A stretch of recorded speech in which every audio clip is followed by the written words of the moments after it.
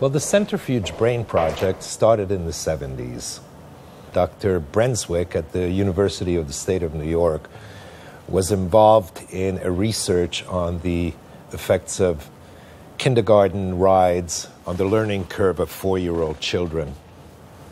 And then we had an idea. Matt's brother in law was on the board of a company that designed and manufactured amusement park rides. They had all the resources for us to continue our experiments. We designed our first real prototype, which was the Sphere-a-thon.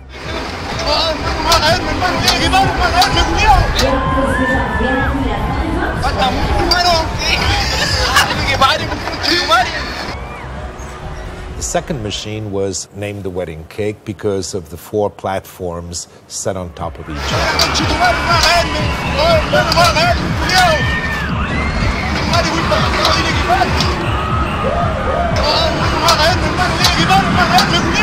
So for the next phase, we shifted our attention to height instead of acceleration.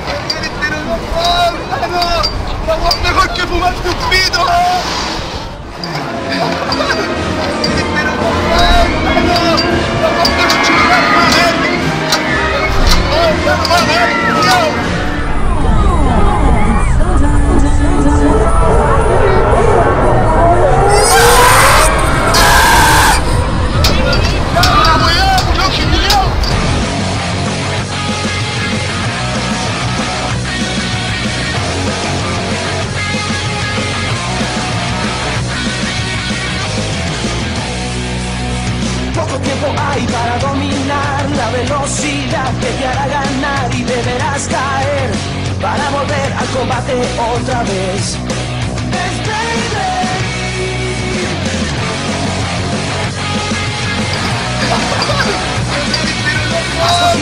Siempre de ese modo y así let it deberás gritar. Nuestro equipo siempre